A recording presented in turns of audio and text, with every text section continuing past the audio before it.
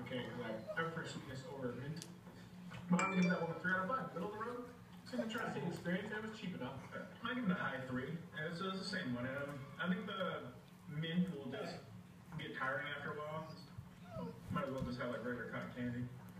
It's crazy that the whole bag is only 330 calories. I would think it'd be like a thousand. There's usually like a, was like a box Sadie that just barked, right? that, But small little boxes the same amount. Yeah. Ice cotton candy is not nearly as Sophie. Bad. I'm gonna use to justify the fact that I need more of it. If You do that. Oh, You don't like you it? videoing? I like it. I mean, it's not a calorie counter. I think it's kind of funny. You always talk about calories around you. Like, I don't really give a You're skinny.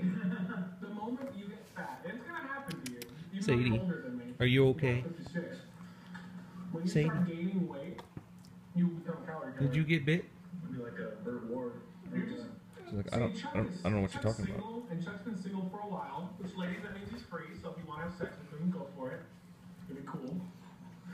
Probably kind of gross, but see, when you're single for a long time, though, Chuck, you get in great shape.